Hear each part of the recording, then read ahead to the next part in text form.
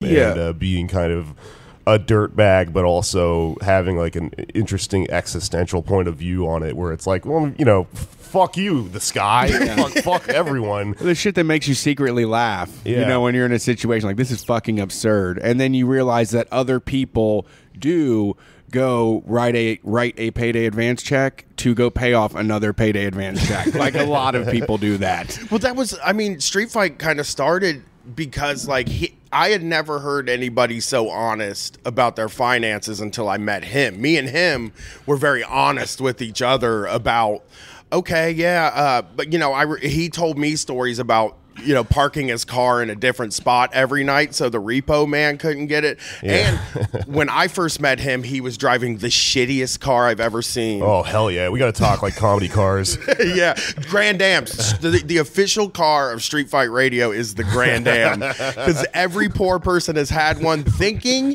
it was going to be. the, the ridges on the side. Yeah, Yeah, and yeah. they all think it's going to be a reliable car. Every Grand Am I owned, I was like, "Well, finally, I got a car that's reliable." And it's like it breaks down every two months like clockwork. It's someone that's like goes to a buy here, pay here lot, and they're like, now Penny's going to be able to go to college and save the family. and It's only going to cost us two hundred dollars a week. and you're like, no, do not leave the lot with that. I paid 167 every two week for a 97 Grand Am in 2006. Oh my god! And that fucking thing, when I bought it, had three broken engine mounts.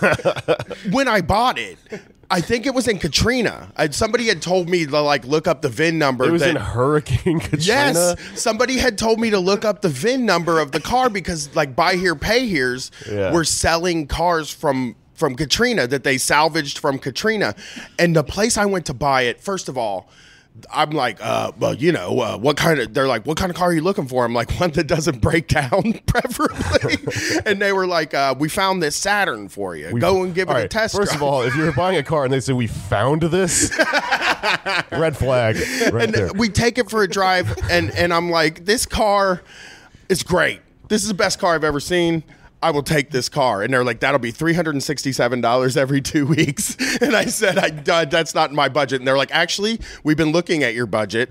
And if you quit smoking cigarettes and quit eating fast food you could afford this car. And I was like no I still I'm not going to do those things. Well, So- then what am I going to put in the driver's seat foot part of the car?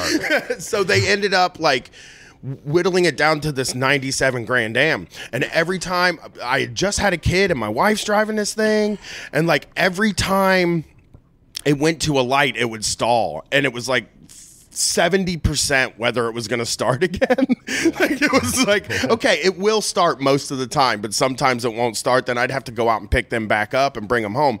And we found out it's because the engine was just like wobbling around inside the car because there were three broken engine mounts. And I took it back to the buy here, pay here, and they were like, oh, uh, there's three broken engine mounts. That's the whole problem. We- We can fix that for $2,000. And I was like, oh, great. I don't have that money.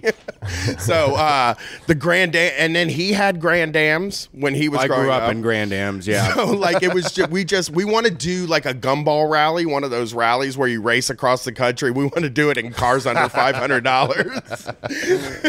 Yeah. Oh fuck, I love it. I used to have a Ford Focus that I just drove into the ground, which the you know not that bad of a car, but part of being poor is something breaks and then you can't afford to fucking fix it, and then that like exponentially compounds the problem, and you get a ticket and you can't afford to pay it, and then you're driving with a warrant out, and the whole fucking thing just turns into this Snowballs. crazy Yeah. mess or whatever. So like after a while, I just just was like, this car is not coming back from where it started. You know, it this is I'm just not going to put anything into it. And so like somebody knocked off one of the um, the rear view mirrors. It was on the passenger side, but like when you break it off. It's still connected by like this cord, so it's just hanging. yeah, I've seen those. And then, like, when you would go up on the highway and it would get caught in the wind, whoever was sitting, like, shotgun would just be having a nice, fine time, not really thinking about the fact there's no mirror out there. And then it would just be like, whoosh, like it would start it, like uh, Twilight Zone. There's something on the side of the plane, kind of shit would happen. It would start banging on the window next to them and scare the shit out of them.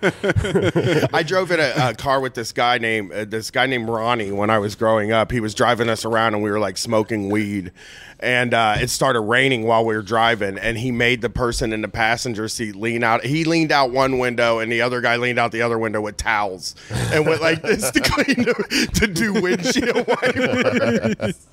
yeah, I, uh, I well, so like I got got a call center job. Was making like eleven dollars an hour with like thousand dollar bonuses. So I was immediately like, well, I'm gonna just go get a really nice car.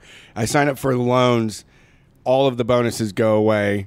All of a sudden, they want the money. I'm not paying it. Then like they're gonna take the car, and I'm like.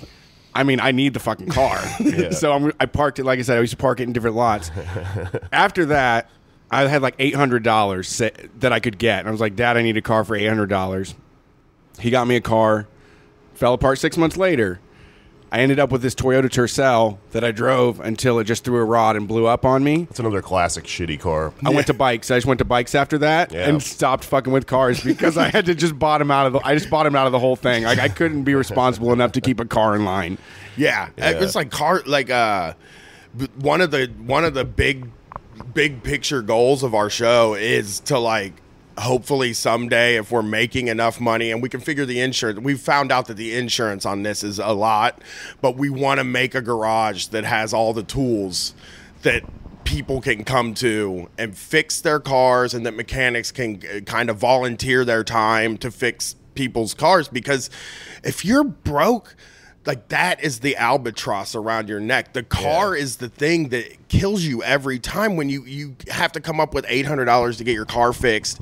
You, like you never have eight hundred. I never have eight hundred dollars to just spend on something. Yeah,